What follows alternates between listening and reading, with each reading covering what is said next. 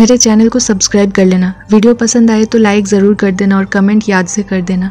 और हाँ अगर हो सके तो किसी से शेयर भी कर देना। थैंक्स अपने घर पे सोना के होने की बात हालिस को पता लगी और फरात उसे उसके रूम में जाके समझाने लगा कि असल बात क्या है। उसने सब बता दिया कि काजिम सोना को किसी वजह से मजबूरन शादी करने कह रहा है, एक एजेड आदमी से।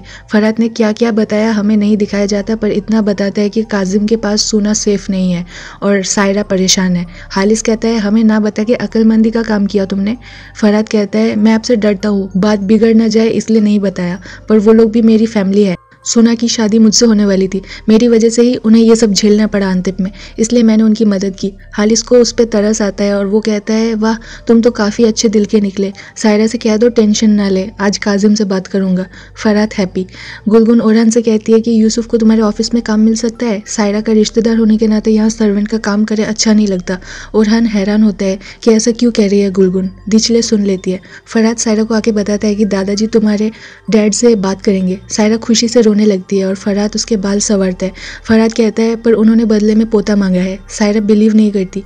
फरात उसे यकीन दिलाता है कि ऐसा ही है, पर फरात उसके साथ मज़ाक कर रहा है, क्योंकि हालिस ने असल में ऐसा कुछ नहीं कहा। या फिर उसे शायद सायरा को भी पेलिन बनाना है। सायरा मायूस होकर कहती है, आपा के लिए ये करने के लिए भी मैं तैयार हूँ। फरात कहते हैं सॉरी सायरा, क्या करूँ? दादाजी की ख्वाहिश है।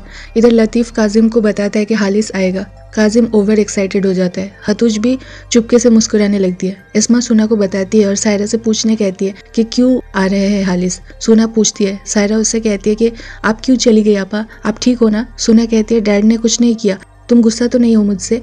सायरा शुक्र मनाती है और उसे डांटती है कि वो घर से क्यों चली गई। कहीं किसी ने देख लिया होता तो सोना कहती है, उस नए लड़के ने भागने में हेल्प किया। सायरा कहती है, यूसुफ। सोना कहती है हाँ। यानी इसमा के सामने यूसुफ का नाम नहीं लिया सोना ने।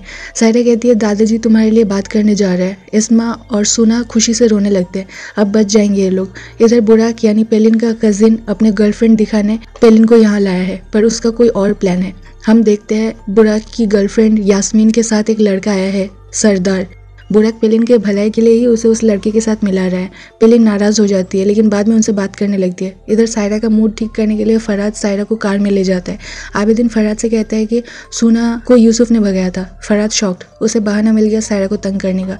कहते हैं, उसकी वजह से दादाजी को पता चला। सायरा कहती है, उसने हेल्प किया और तुम ऐसा कह रहे हो? फराद ताने मारता है वो अपने प्यारे बॉयफ्रेंड की तरफदारी कर रही हो। अगर आज दादाजी को नहीं पता चलता तो मैं कुछ अच्छा इंतज़ाम कर लेता। अच्छा अच्छा इंतज़ाम, यानी इस बार कारपेट में लपेट के समुंदर में फेंक के आता। एटलीस्ट हालिस कुछ तो अच्छा करेगा। बस मौका चाहिए सायरा को पुक करने का। सायरा खुद को कंट्रोल करके उससे बात नहीं करती। पेलिन का मैसेज आता है फराद को, जो बुरा के साथ रेस्टोरेंट में है। दोनों का एक पिक्चर शेयर करती है। फराद अचानक कहता है कि उसका शुगर लेवल लो हो गया है। पिज़्ज़ा खाना है। उसी पिज़्ज़ा के रेस्टोरेंट में जाता है और पेलिन पर नज़र रखता है। तब सरदार वहाँ नहीं था। जब आता है तब फराद की सटक जाती है। उसका मुँह उतर जाता है। कैन यू बिलीव इट अपनी बीवी और गर्लफ्रेंड दोनों से लॉयल्टी चाहिए उसे। हती कि दोनों के आसपास कोई लड़के को बर्दाश्त नहीं कर पाता। सायरा फराद को नोटिस करती है और पीछे देखती है पेलिन को। वो कहती है, ओ, इसलिए यहाँ आए तुम?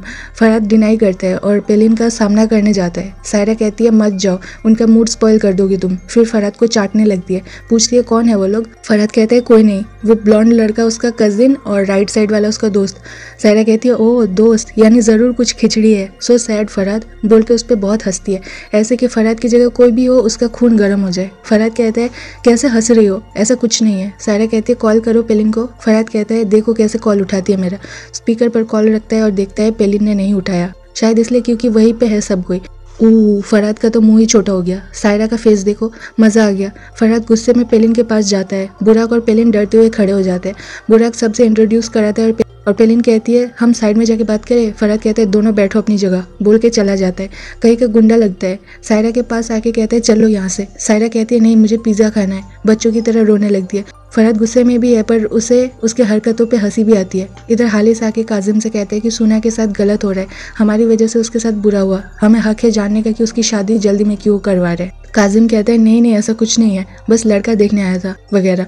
हालिस कहता है, हम सुना को अपने घर ले जाएँगे। उसकी एडुकेशन करवाएँगे। इफ़ाकत मदद करेगी। उसे रूम दिया जाएगा।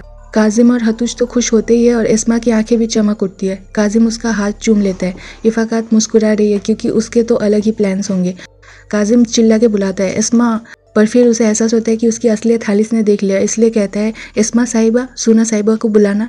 हालिस मुँह बनाता है काजिम के दोगलेपन को देख के। आई I मीन mean, उसे समझ आ गया कि इधर काजिम औरतों के साथ कैसा सलूक करता है। सुना आके भी हाथ चूमती है वो भी खुश। इधर डिनर पर फराद को पेलिन कॉल किए जा रही है वो काट देता है सायरा देखती है। हालिस सायरा से कहते हैं कि, बेटी, अब परेशान नहीं होना। सुना, अब तुम्हारे पास होगी। इफ़ाकत उसका ख्याल रखेगी। सायरा कैसे शुक्रिया करे उसे समझ नहीं आता। आँसू लेके हालिस का हाथ चूमती है, पर आँसू मन खुश नहीं है। रूम में फरात और सायरा आज की बातें करते हैं। फरात इतराता है और थैंक्स माँगता है। सायरा हज़ारों बार बोल चुकी है थैंक्स। उसे चिढ़ाती है पेलिन को लेके। अब फरात सायरा के पास आता है और बच्चा पैदा करने कहता है। सायरा उससे दूर भाग जाती है। फराद कहता है, तुम्हें आखिर प्रॉब्लम क्या है?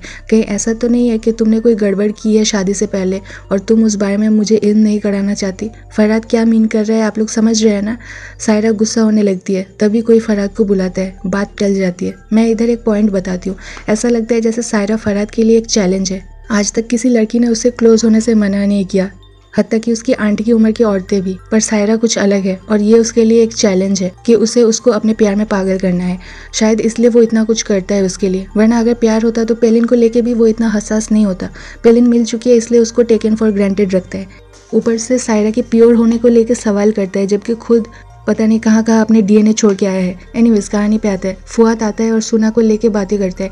उसके लिए ये लोग कॉफ़ी मंगाते हैं।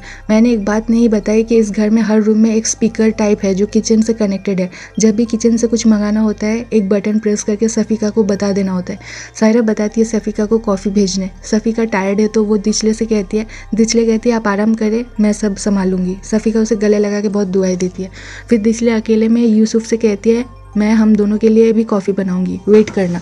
यूसुफ मान जाता है। इधर आसुमान भी आती है। लगता है फुआत आसुमान से थोड़ा उब चुका है। एनीवेज चारों मज़े की बातें करते हैं स्पेशली उस दिन नाइट क्लब की बात। सायरा कैसे पियानो बजा रही थी? आसुमान कहती है काश मैं भी देख पाती। सायरा कहती है एक दिन हम चारों चलेंगे। आसुमान कहती है फुआद से पूछ लो, उसे मंजूर है कि नहीं? फुआद समझ जाते तंज कर रही है, वो सफ़ाई देता है। फिर आसुमान कहती है, फराद बहुत अच्छा गाना गाता है। सायरा हैरान। फराद फिर गिटार लेके गाना गाता है सबको सुन के अच्छा लगता है। इधर दिचले और यूसुफ कॉफ़ी पीते हैं। दिचले दर्द होने का नाटक करके उससे मसाज लेती है। उसे बताती है कि गुलगुन ओरहान से कह रही थी कि तुम्हें ऑफ़िस में काम दिलाए। तुमको मेरी अम्मी ने देख लिया था ना, उस दिन सुना को भगाते टाइम। प्लीज़ अब से चौकन्ना रहना। मैं नहीं चाहती कि तुम यहाँ से जाओ। यूसुफ सीढ़ी लेके सायरा के रूम की तरफ़ जाने लगता है। जब आसुमान और फुआत वही पे है, वो लोग जाने लगते हैं तभी बाहर आवाज़ होती है। फरात और सायरा दोनों डर जाते हैं क्योंकि दोनों को अपने एक्स की याद आ जाती है। सब जाने लगते हैं और सायरा बाहर जाकर देखती है यूसुफ है। उसे डांटती है तो वो कहते हैं, मैं सिर्फ़ ये कहने आया हूँ कि तुम्हारा शौहर मुझे यहाँ से भगाने की साजिश कर रहा है। मैं नहीं जाऊँगा। सायरा और डांटती है तो वो कहता है क्यों उसकी माशुका नहीं आती ऐसे। एनीवेज यूसुफ जाता है और सायरा दरवाज़ा अच्छे से बंद करके फराद से कहती है, हवाएँ चल रही थी। रात को ओरहान देखता है कि फराद खाना ढूंढ रहा है और एक भी स्नैक्स नहीं मिला। सो गरीब। क्यों पता है? क्योंकि ये लोग फ़ूड डिलीवरी ऐप की ऐड देने वाले हैं। फरहात ऑर्डर करते हैं और ओरहान और वो कबाब खाने लगते हैं क्योंकि कबाब इस ऐप से जल्दी आ गए। एनी वीडियो ख़त्म।